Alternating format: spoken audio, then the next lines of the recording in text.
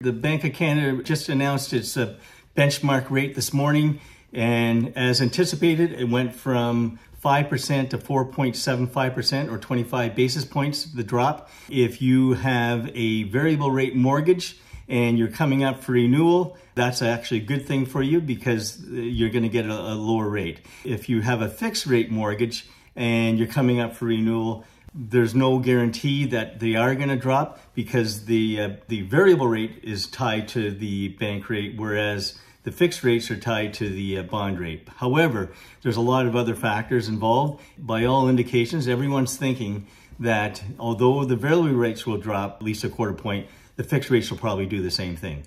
Anyways, what, how does that affect you? Well, if you are a homeowner, your mortgage is coming up for renewal, I think you should go short term. And that would be one, two, no more than three years, because by the time it comes up for renewal again in one, two, or three years, you'll get the lower rate you can lock in then, okay?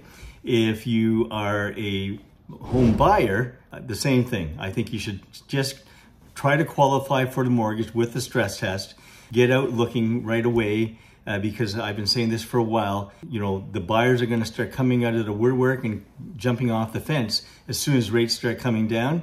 In fact, you should probably have been doing this a few months ago. Nevertheless, it's not too late. Get out there. What I think you should do is give us a call. We'll get you pre uh, approval with our mortgage specialist. And while you're waiting for that to be uh, finalized, we can get you out looking at houses.